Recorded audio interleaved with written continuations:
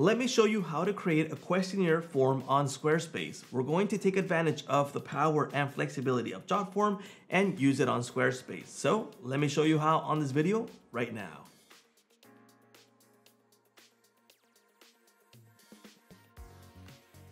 Welcome to JotForm, my name is George and today I'm going to show you how to add a questionnaire form into Squarespace. We are first going to build it here on JotForm so we can later embed it on Squarespace. So let's get started. This is our top JotForm panel and we're gonna get started by creating a new form.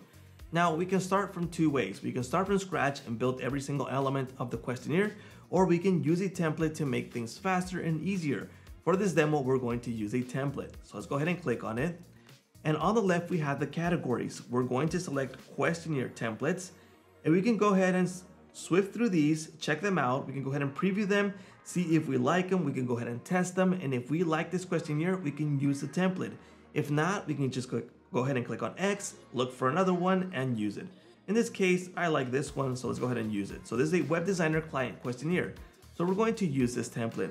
Now the good thing about templates is that we can go ahead and customize them after we've imported them. So in this case, if I need to edit the elements, if I need to remove elements or keep or whatever I want to do with them, I, it is possible. I can also change the style for them. I can drop in more elements if I like, but in this case, we're gonna keep it just as it is and we're going to go into publish. We're gonna go into platforms and we're going to search for Squarespace. Let's go ahead and select it. And this is the code that we are going to need to use on Squarespace. So let's go ahead and copy this. And let's go ahead on over to Squarespace. This is my Squarespace dashboard. And as you can see, I already have a website that's built right here. But if you don't have a website, do go ahead and create one first in Squarespace. So create website. In this case, let's go ahead and use this one for the for demo purposes. So let's go into website. And this is going to open up the builder for the Squarespace website and we're going to need to edit the website here so we can embed our form. Here we go, we have our website loaded and to edit the website, if we want to add our questionnaire in the main page, we can just go ahead and click on double click here and it's going to open up the editor. Um, for this case, what we're going to do is we're going to create a page for the questionnaire. So we're going to go into pages and we're going to click on this plus button. Okay, let's go ahead and click that. And we have two main options, which is a blank page or a page layout. Layouts are are tied to your web template. So if I click on that, there's templates that we have available to use. So if I want to use something like this and then embed the questionnaire inside of this, that is possible. For this demo, we're gonna add a blank page. So go ahead and click create a blank page. Let's go ahead and rename this questionnaire.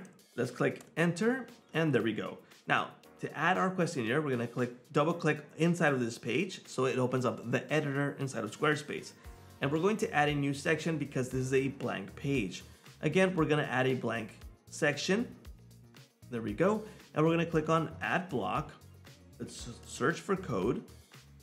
Let's select it. And here we have the code. Let's click on this pencil. And this is where we're going to add our code. Let's go ahead and clean this code that's here by default. And we're gonna add the code that we copied on JotForm. So let's go ahead and click on paste. There we go, it's going to refresh. Let's click outside of the box and we have our questionnaire here. Let's go ahead and make it a little bit wider. There we go. We can put it in the center. We can make it a little bit cleaner if we make it smaller, put it on the right. We can add an image on the left. We can make it nicer if we like, or we could just go ahead and leave it dead center if that's all you need to add in the page. For this demo, we're gonna keep it clean just for this.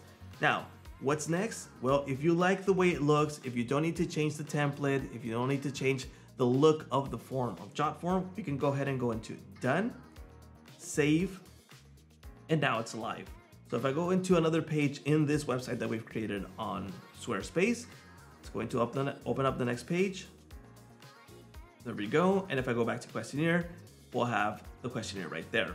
Now, if we need to edit this again, we'll just go ahead and click, double click on this section and it's going to open up the editor.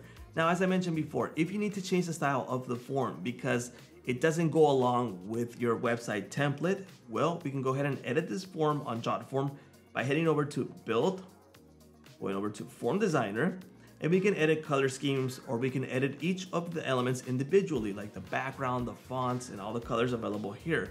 We can also go into Styles, Theme, if you like a theme that you can use here. If you like this theme, you can just go ahead and select it and it's gonna change all the elements automatically and there we go, it just updated it.